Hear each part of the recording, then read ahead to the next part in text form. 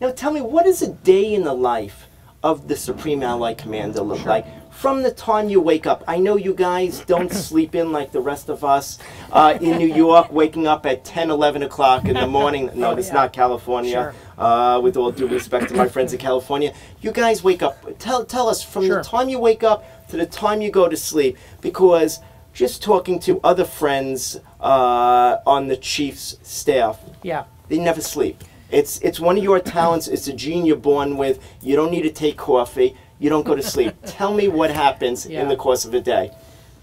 you get up around well first of all your head here's the good news your headquarters is in belgium and it's in southern belgium south of brussels in a small town called mons so it's a very uh, bucolic setting and your headquarters is it's kind of the pentagon of nato and um, you live in a beautiful home maybe 10 minutes away from it so you're not dealing with a lot of uh, sand in the gears of day to day life, if you will. So you get up about six. I spent from six to seven uh, reading, really looking at um, high end, highly classified material, trying to kind of prepare for the day. From seven to eight, I would typically work out. At eight o'clock, I'd jump in a car. I'd be at my headquarters at about uh, about eight ten, and then the day kind of split into either a travel day, and I was on the road about sixty percent of the time, or an uh, office day, if you will, in the headquarters. A travel day, I would hop in a helicopter. There's a helicopter pad right there. Fly to a jet in Brussels, and then go to one of the either 28 NATO countries, uh, to one of the 22 nations that were in our coalition in Afghanistan. I would go to Afghanistan. I would go to the Balkans. I would go uh, any of the places where NATO operations were being conducted.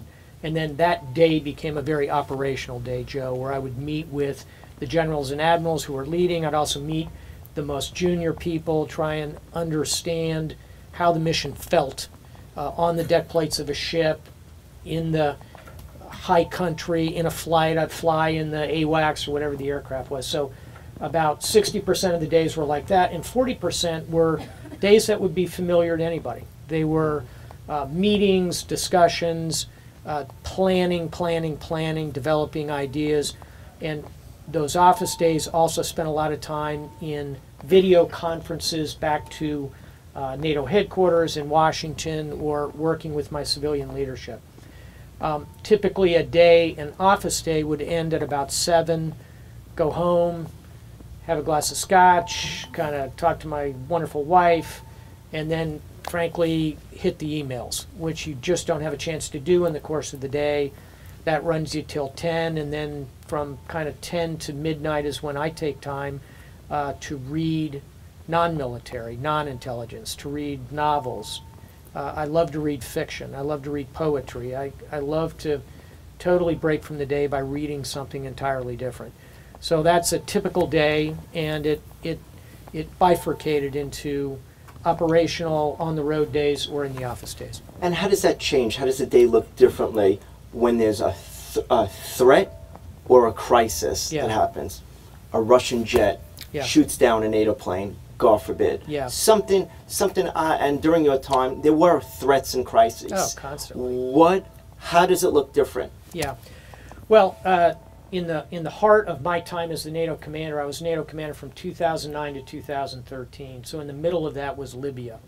So during the Libyan crisis, which ran about seven months or so, our battle rhythm was uh, combat briefings two to three times a day, uh, video conferences with leadership twice a day, once with NATO, once with the United States.